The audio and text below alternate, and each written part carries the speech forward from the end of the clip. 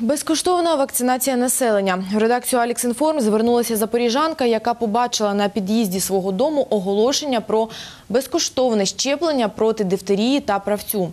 Чи справді можна безкоштовно прищепитися у лікарнях Запоріжжя? Ми дізнавалися у департаменті охорони міськради.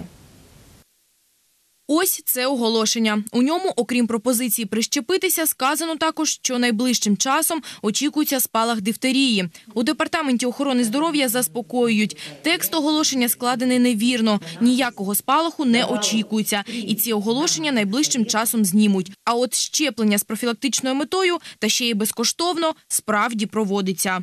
Вакцина проти дифтерії і правця є в кожному центрі первинної медико-санітарної допомоги. Протягом року необхідно згідно з віком та показаннями провести щеплення 63,5 тисячі дорослих мешканців Запоріжжя. Вакцину ми отримали, і от тільки вчора був черговий перерозподіл. Місто Запоріжжя отримало цю вакцину.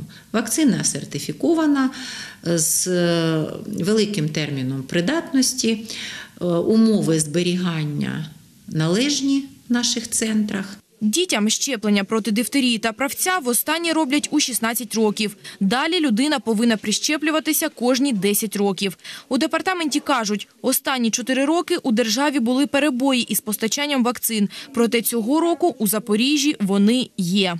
Тому я закликаю дорослих звернутися до своїх сімейних лікарів для того, щоб уточнити графік щеплень, наявність медичних показань і протипоказань. Наразі у Запоріжжі за два місяці поточного року вже прищепилися 13% людей із того населення, що підлягало щепленню.